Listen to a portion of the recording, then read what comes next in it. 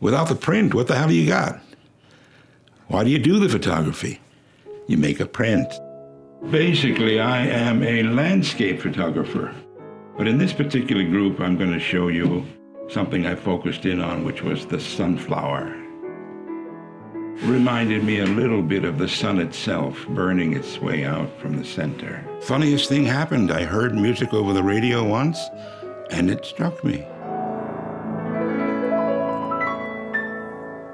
The classical stuff hit me as pure sound at a very early age, and it became a part of my life. Every now and again, the sun will get eclipsed. That's a rather lovely image of backlit. I like that little aura. Grandma used to come and she'd line up the kids or the parents and snap their picture. So I just walked up to her and asked her, What's that? And said, It's a picture taker, box brownie, they call it. I want to do that. It's about the age of 12, I came into a few dollars, and I thought, now's my chance. I'm going to go buy myself a camera. I set up a darkroom in my basement, and I started developing my own rolls. So I had music, photography. Both of them said, you have to play with us. Think about us, work with us. And I did both. While the prints are washing in the darkroom, I'm upstairs practicing the piano. So I did photography for a living during the day and music in the evening. And the army grabbed me. It was the Korean conflict. So what do I pull? I pull Presidio San Francisco as a musician. There I meet Benjamen Chinn. He puts on some music, and on the walls were these magnificent prints. I said, Who's that? Ansel Adams did that landscape. I said, Who's he? You don't know Ansel Adams, the greatest landscape photographer in America?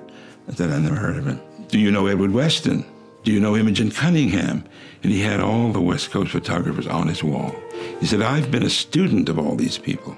And then one evening he said, Caponigro, want to go to a party? A bunch of photographers are going to get together. And he said, Wear your civilian clothes. I'll pick you up at the barracks. So we knocked on the door.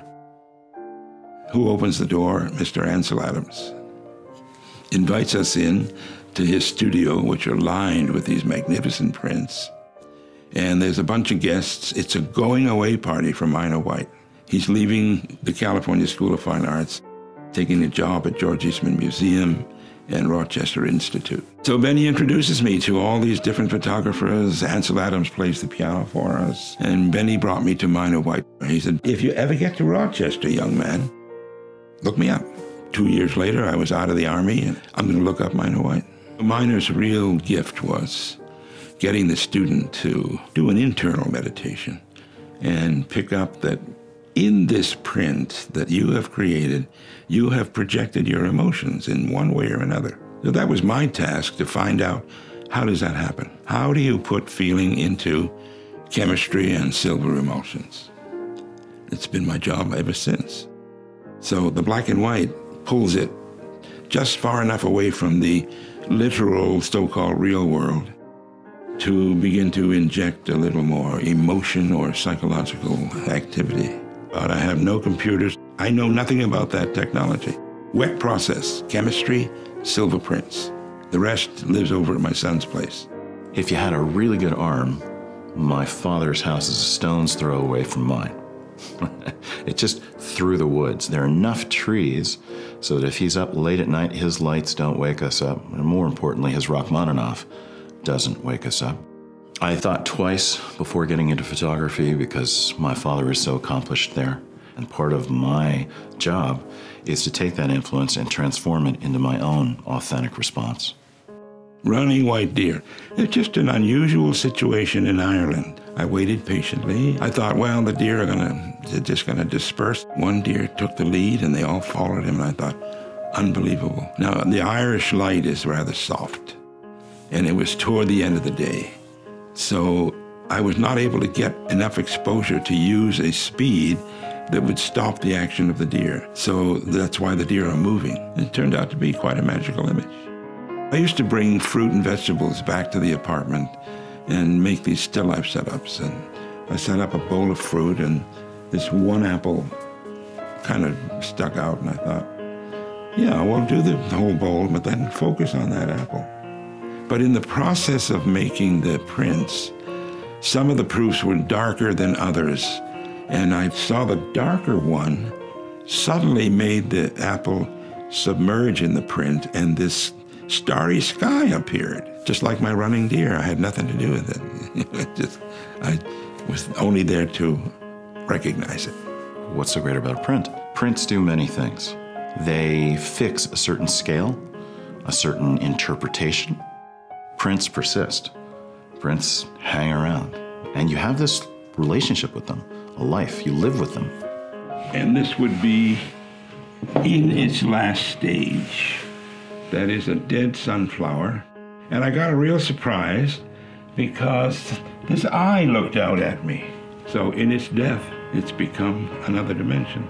For me, legacy is very important. I want the things that I make to last. I want the things that he makes to last. When you make that kind of contribution, you would like it to be enduring. Good work. That's my legacy. Good work. Seen through the eye of what I like to call myself an artist. Willing to bare his soul, willing to seek spirit. So if that has come into my work, that's what I want to preserve.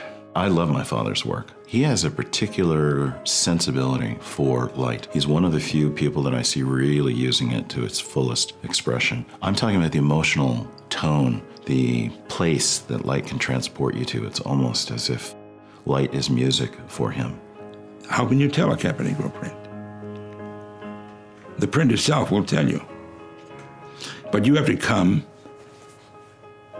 stripped, naked, not full of ideas. Oh, I know photography.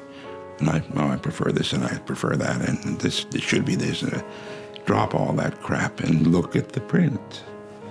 And you'll recognize that there's this guy in that silver emulsion trying to get a sound like a piano out of it. So people are always fascinated by this relationship, analog digital in particular, because father and son.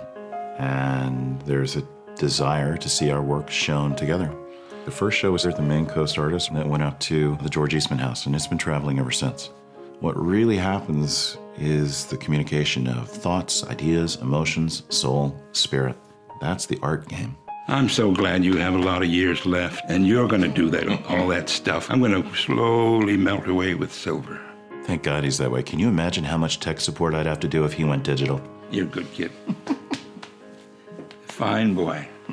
Fabulous artist.